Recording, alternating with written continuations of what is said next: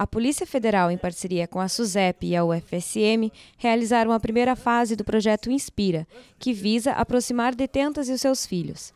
Nessa fase do projeto, 10 detentas do regime fechado, atualmente recolhidas no presídio de Santa Maria, realizaram atividades de integração com seus filhos no Centro de Convivência e Treinamento da Polícia Federal. Faz um ano e dois meses, para mim está sendo uma glória, né? Graças ao presídio e à Federal e a vocês, né? Está sendo uma glória poder ver eles participar de tudo isso que está acontecendo isso hoje, para mim está sendo uma alegria muito grande. Para mim que estou indo embora há três meses, daqui três meses eu estou indo embora, está sendo uma alegria. As atividades foram compostas de várias oficinas de entretenimento e a realização de técnicas de escovação e profilaxia dentária pelos professores e residentes do curso de odontologia da UFSM. Segundo o delegado da Polícia Federal, Getúlio Vargas, o objetivo do projeto é aproximar as detentas dos seus filhos através da realização de atividades conjuntas, orientando mães e filhos, atuando com o propósito de trazer uma melhoria social e na valorização da família.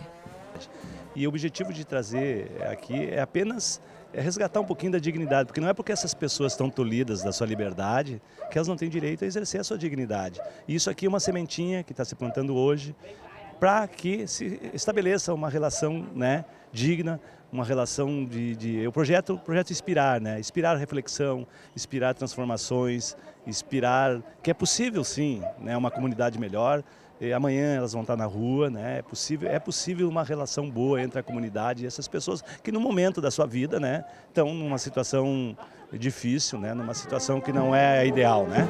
O projeto contou ainda com o apoio da Brigada Militar no Centro de Especialidades Odontológicas da Prefeitura Municipal de Santa Maria, com o Exército Brasileiro e a Polícia Federal.